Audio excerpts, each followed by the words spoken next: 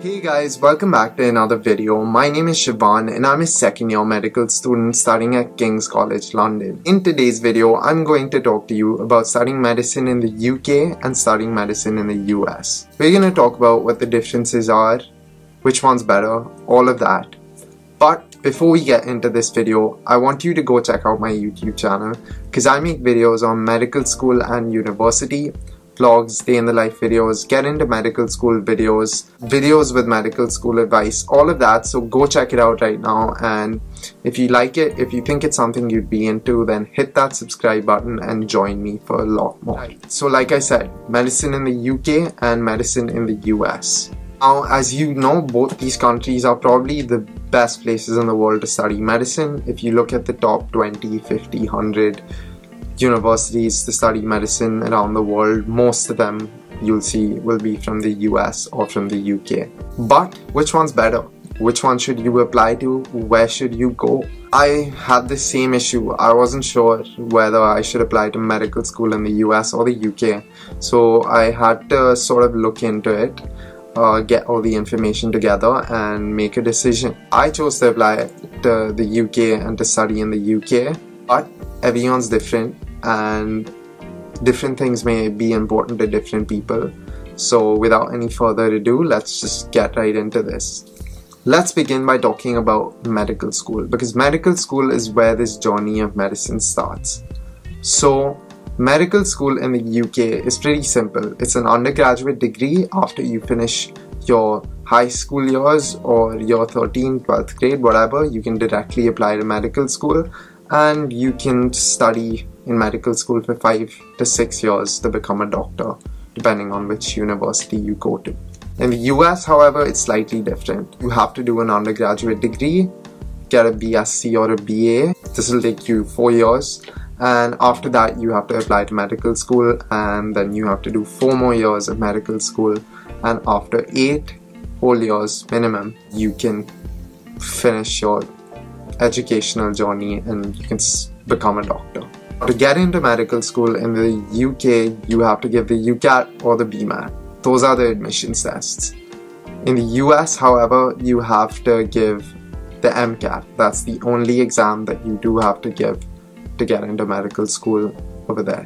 Now, the structure of studying medicine in the US is pretty simple. You have two preclinical years and then two clinical years where you're obviously learning in a clinical environment, and that's pretty standard for mo most or all medical schools over there. In the UK, however, it varies a lot from university to university. Some medical schools start their clinical placements from their first year, some start in their second year, and some even wait three years to start clinical placement.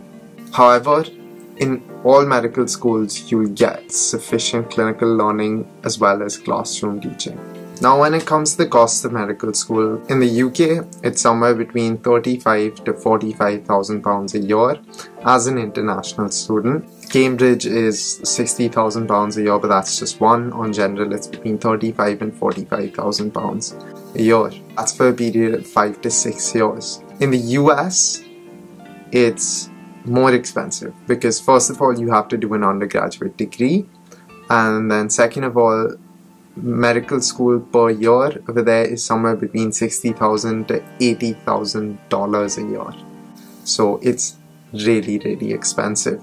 So you're looking at sixty to eighty thousand dollars a year for medical school, and then a similar amount of money for your undergraduate degree as well. Another thing in the US is that that amount of money is not just if you are uh, an international student unless you're an in-state student studying at a public university or public medical school in the US, you will be paying that kind of money. So medical school is definitely more expensive there. To graduate medical school, you have to take a certain set of exams and these vary depending on which country you're in. In the UK, you have to take the situational judgment test, the prescribing safety assessment, and your medical school finals which are provided to you by your medical school.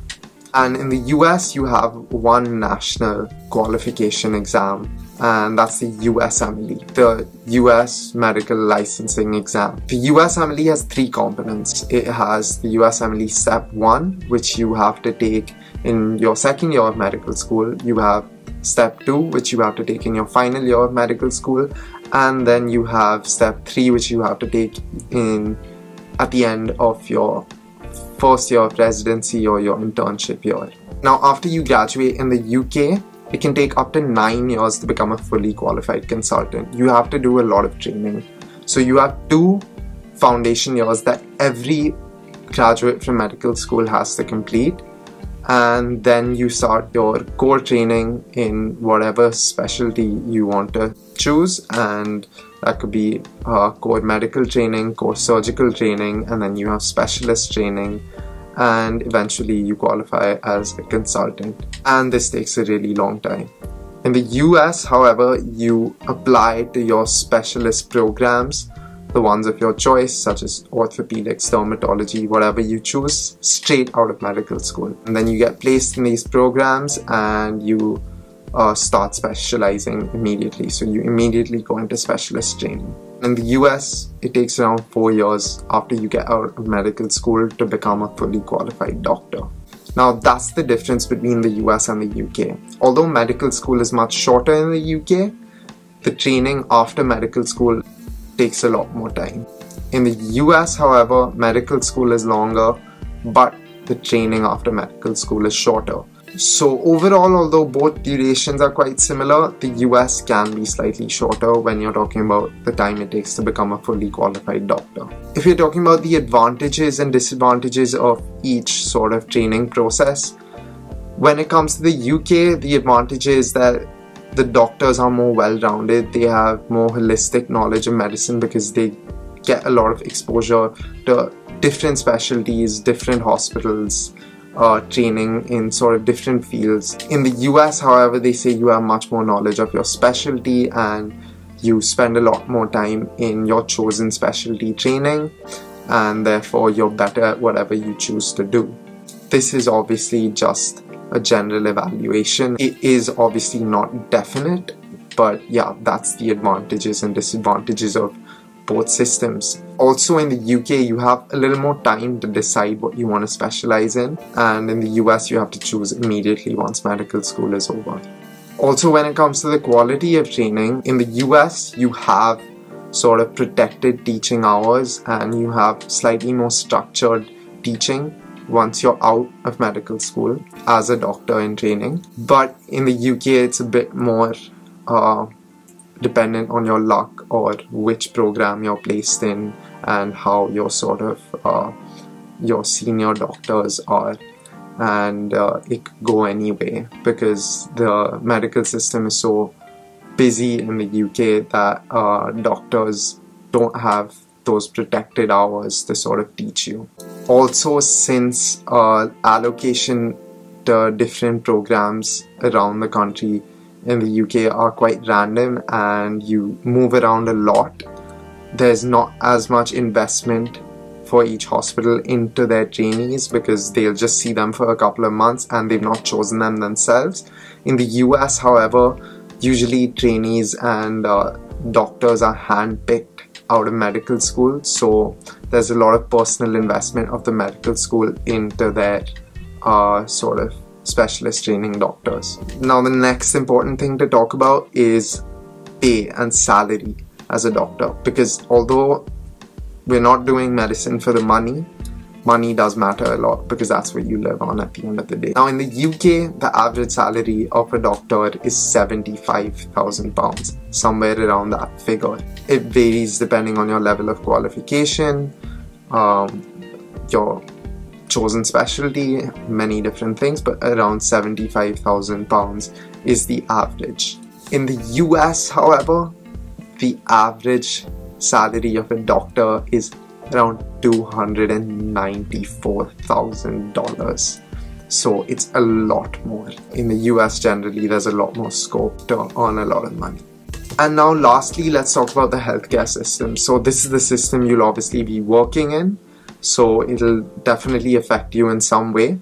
When it comes to which one is better, it varies depending on what your situation is. You have health insurance, if you can afford health insurance, the US is probably better, the US system. Because in the NHS, due to the fact that it's free, non-emergent procedures have very very long waiting times whereas obviously if you have enough money that's not much of an issue but if you don't have health insurance then the NHS is much better for you because obviously you can you have access to free healthcare. So now to sum everything up, medical school is shorter in the UK and it is cheaper to study medicine in the UK as well. In the US, however, the total time it takes to become a doctor or to fully qualify is shorter than the UK because the training after medical school isn't as lengthy. In the UK, they say the training system makes more well-rounded doctors because you get much more exposure to many more specialties although you have to spend much more time in training. In the US, you directly go into a specialist training program so it's said that you have better knowledge of your specialty and when considering the pay obviously that is much more in the US and then when it comes to the healthcare system that you'll be working in and the work you'll be doing and providing to obviously patients. The US healthcare system is better suited to those individuals who can afford health insurance. However, the NHS obviously has a more widespread impact as it's uh, available to those who can't afford health insurance as well because it's free.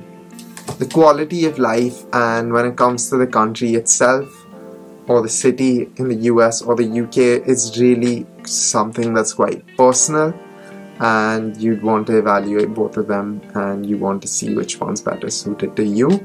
Overall, that completes my evaluation of whether it's better to study medicine in the US or the UK.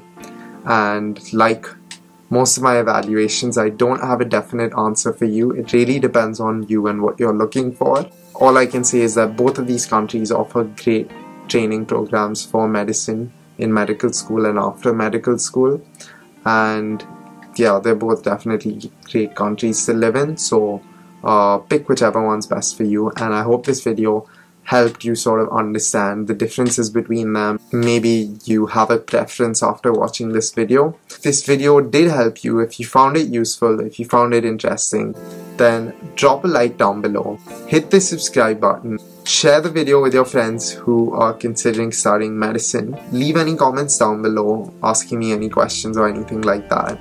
And yeah, with that, I will see you in the next one.